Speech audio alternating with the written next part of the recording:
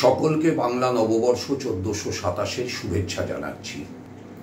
যদিও এই নববর্ষ এমন একটা সময় এসেছে, যে সময় গোটা বিশ্ব জুড়ে, আমাদের দেশ জুড়ে, আমাদের রাজ্য জুড়ে, আমাদের এলাকা জুড়ে মানুষ আতঙ্কিত, মানুষ ভীত। এক মারাত্মক ভাইরাস গোটা পৃথিবীকে এই মুহূর্তে ছেয়ে ফেলছে।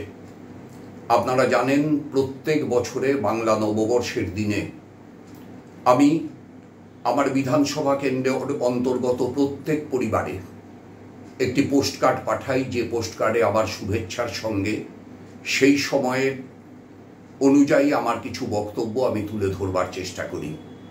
এবছরে আমি কোনো রাজনৈতিক বক্তব্যের ভিতর, রাজনৈতিক বিতর্কের ভিতর যেতে চাই না। আমি প্রধানত এই কথাটাই বলতে চাই যে এই বাংলা নববর্ষ গত বছরের শেষ ভাগের মতো করে যেন আমাদের জীবনে ধারাবাহিকতা না রাখতে পারে। আমাদের জীবনধারা যেন বদলায় নতুন বছরে। তার জন্য একদিকে যেমন প্রয়োজন মানুষের সতর্কতা, মানুষের সজাগ অবস্থান, তেমন ওপর দিকে প্রয়োজন মানুষের দ্বারা নির্বাচিত সরকারের মানুষের প্রতি কর্তব্য পালন। এ ব্যাপারে কোনো প্রশ্ন নেই। যে সরকার মুখে যা যা বলছে আর বাস্তবে যা যা প্রতিফলন আমরা দেখছি, তার ভিতরে অনেক ফারাক আছে। মাননীয় প্রধানমন্ত্রী, মাননীয় মুখ্যমন্ত্রী প্রায় দেশের সব সমস্যা সমাধান করার মতো করেই বক্তৃতা করছেন। কিন্তু কার্যত সমস্যা থেকে যাচ্ছে। পরিযায়ী শ্রমিক খাবার পাচ্ছেন না। রেশন দোকানে যে মাল সরবরাহ করার কথা, সে পরিমাণ পণ্য সরবরাহ করা হচ্ছে না। দিনমজুর শ্রমিক, প্রত্যেক দিনের অটো চালক, টোটো চালক, ট্যাক্সি চালক দিন আনা দিন খাওয়া অজস্র মানুষ, সেই মানুষ কাজ পাচ্ছেন না, আয় করতে পারছেন না এবং আয় না করতে পারার কারণে সমস্যার মধ্যে পড়ছেন। সরকার এদের সকলকে দেখবেন বলছেন, কিন্তু কবে দেখবেন তা নির্দিষ্ট করে আমরা কেউ বুঝতে পারছি না।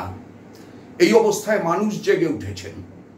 তরুণ প্রজন্ম বিশেষ করে জেগে উঠেছে এলাকায় এলাকায়, একটু সম্পন্ন মানুষদের থেকে, ত্রাণ সংগ্রহ করে তা দুস্থ মানুষদের ভিতর পৌঁছে দেওয়ার দায়িত্ব তারা পালন করছেন।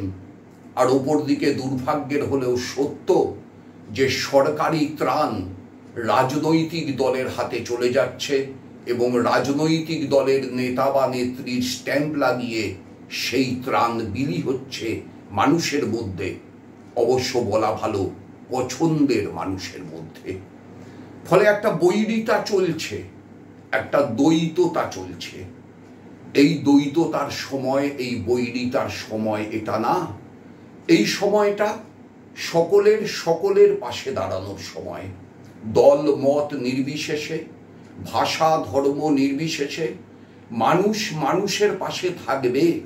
কারণ ভাইরাস যখন আক্রমণ করে, তখন সে আমাদের মানুষের বিভাজনগুলোকে মানে না, সে আক্রমণের জন্য ক্ষেত্র বেছে নেয় এবং সেই ক্ষেত্রের আওতায় আমরা গোটা মানব জাতি আজকে সংকটের মধ্যে পড়ে আছি। তাই আমাদের গোটা মানব জাতির রক্ষার জন্য, মানুষ প্রজাতিটাকে ভবিষ্যতে রক্ষা করতে হলে এই আক্রমণকে ঠেকাতে আমাদের কাঁধে কাঁধ দিয়ে লড়তেই হবে এবং এবারের নবাংলা নববর্ষে সেই লড়াই পরিচালনা করাই হোক আমাদের প্রত্যয়, সেই লড়াইয়ের অংশীদার হওয়াই হোক আমাদের শপথ, সেই লড়াইকে অগ্রসর করাই হোক আমাদের আগামী কর্মকাণ্ডের দিশা। ধন্যবাদ, নমস্কার, সকলে ভালো থাকবেন।